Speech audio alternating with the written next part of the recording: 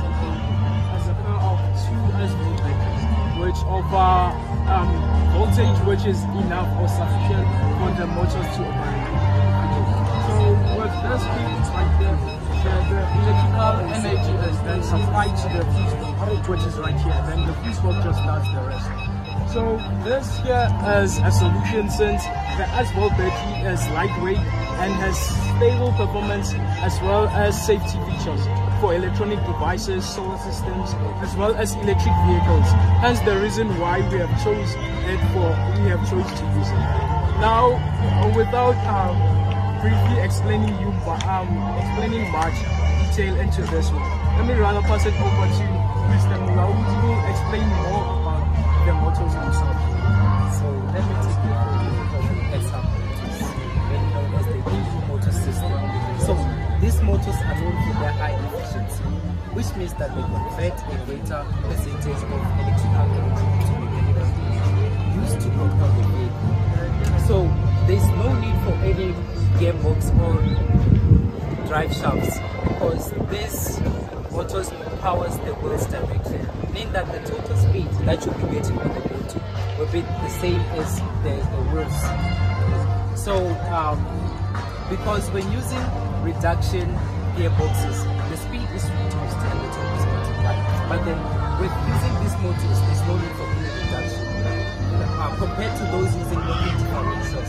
Because uh, when using locking differentials, it can it, it can enhance the, the problem of getting high torque at speed. Hence, this uh, they provide us with better torque head control. So the, the concept of installing the, the, the, the motors directly into the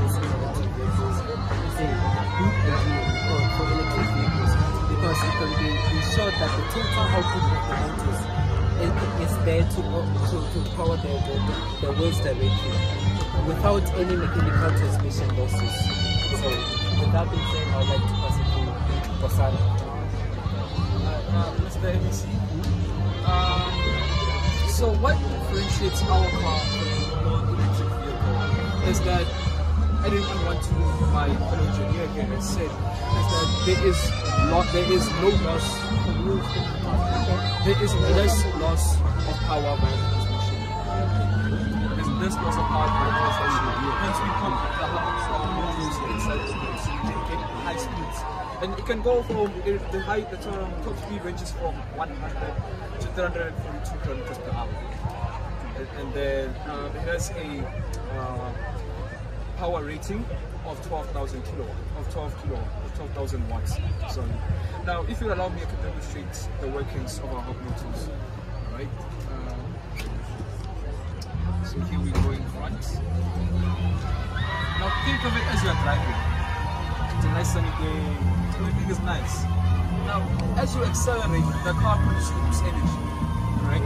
But it's also gaining momentum, kinetic energy. So as soon as you apply the brakes, it collects that energy and then takes it back to the grid, saving energy. It's a regenerative brake. And if you, uh, I'm, I'm sure you must be wondering, what happens when there's no and I want to charge my car? Well, we plan on implementing a solar charging system because South Africa is blessed with the sun. We have sufficiency, we have enough sun to supply all year round. Maybe three quarters of the year we have sun. So the sun will be able to charge your battery via solar panels. And if you might be wondering um, as to, okay, say it's a scenario uh, you're driving to Limpopo, your, your car's battery is about to be depleted.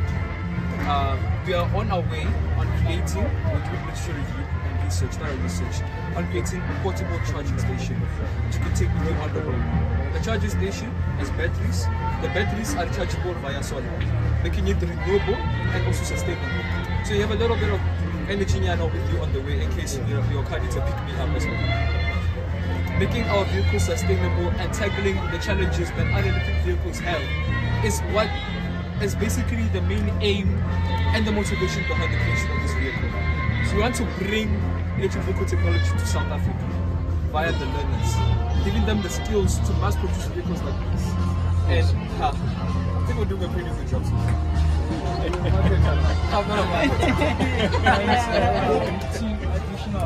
Well, I'm sure you remember why SFDC. That were, yeah, the main reason was for demonstration purposes.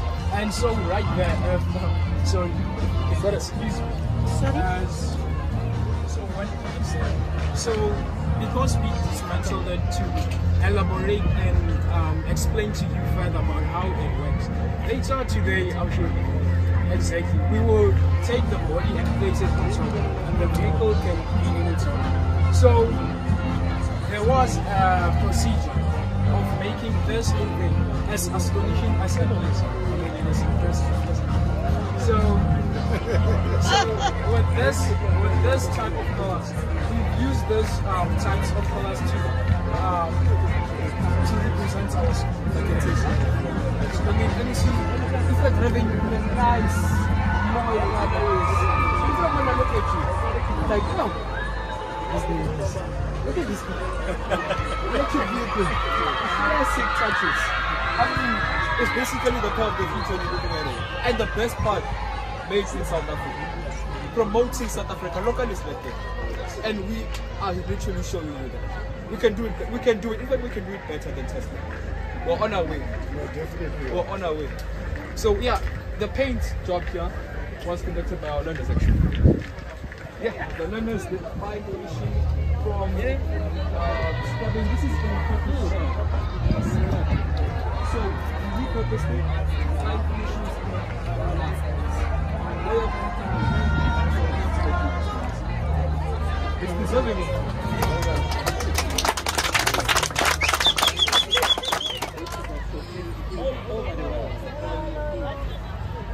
Beautiful. Well done, guys.